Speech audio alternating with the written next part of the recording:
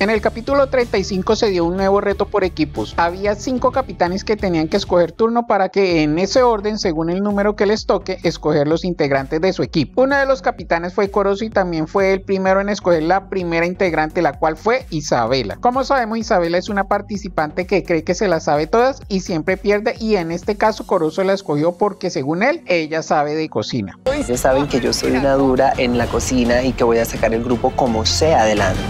La competencia empezó y como sabemos Corozo, que es capitán de cocina, no tiene mucha idea. Así que pasa el mando a Isabel, quien con mucho gusto lo aceptó y tomó las riendas del equipo y el capitán comenzó a obedecer sus órdenes al igual que el resto del equipo. Y si me quieren como capitana, pues yo hago mi trabajo de capitana.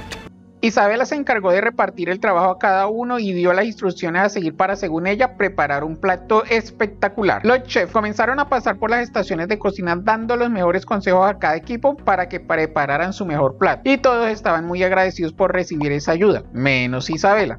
Y la Isabela, ella pues muchas veces quiere brillar, entonces que brille. Ojo se quema. Isabela es dictadora, pero yo soy chef.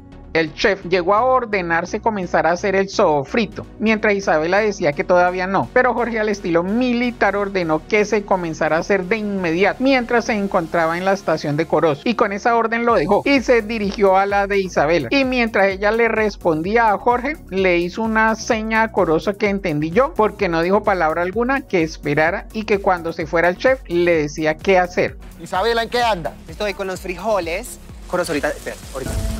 Isa, me mata no, no, que...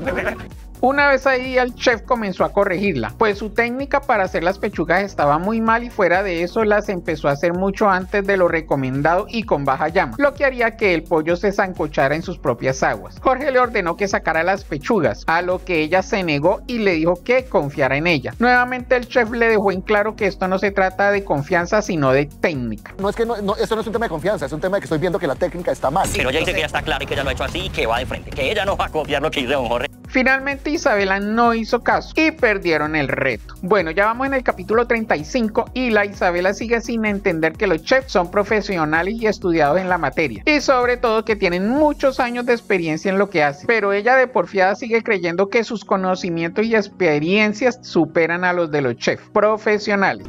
Ya vas a dejar ahí se está zancochando.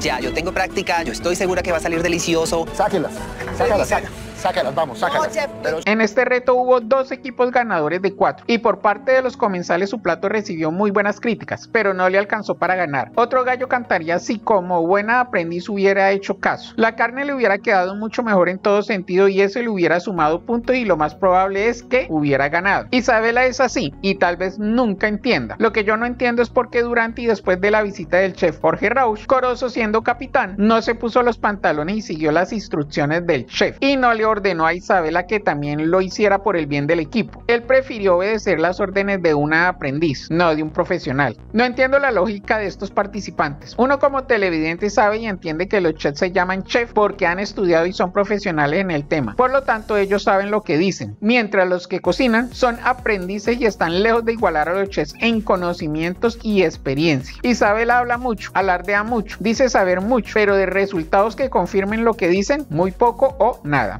Mira uno de nuestros videos más recientes aquí. Suscríbete a nuestro canal de YouTube y activa la campanita para que no te pierdas de nada.